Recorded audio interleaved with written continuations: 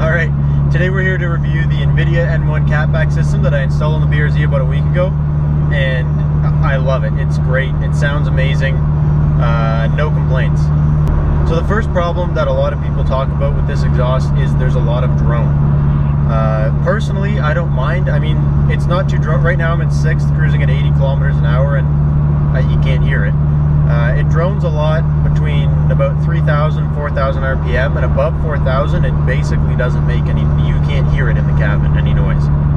Um, but it's one of those things where I bought the exhaust for myself because I want my car to sound louder and I want to hear my car when I'm driving it. And I don't know. I think that people that buy an exhaust and complain that you can hear it in the cabin to me that's kind of silly because did you buy the exhaust for yourself or did you buy the exhaust to impress people?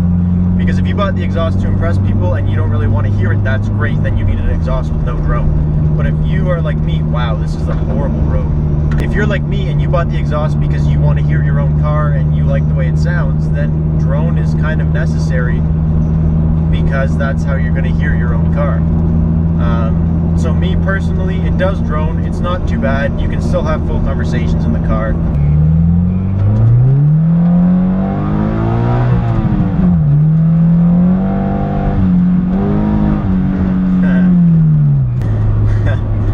oh, I tried to do a pull for you guys, and uh, winter tires and cold weather and a little bit of dirt on the road is just not a good combination.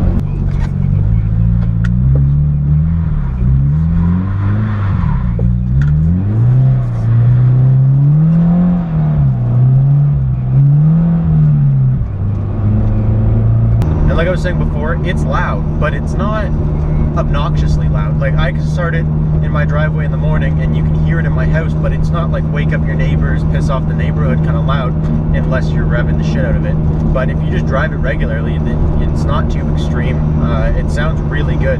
You can almost get the Subaru Rumble. I think you just need headers to top it off and it would be a perfect sounding exhaust. Um, but for me, I'm happy with it because the factory exhaust was garbage and it should have sounded amazing from the factory, but it sounded like nothing. There's plenty of cars. Uh, you get a Mazda Speed 3, for example, and the stock exhaust on that is amazingly better than what came on this BRZ. This BRZ basically made no noise stock. You heard engine noise, but no exhaust note at all.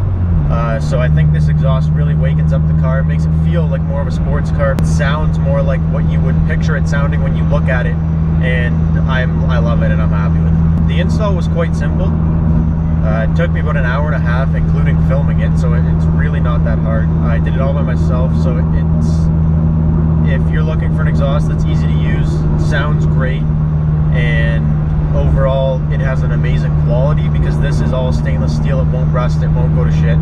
Uh, this is the good exhaust for you.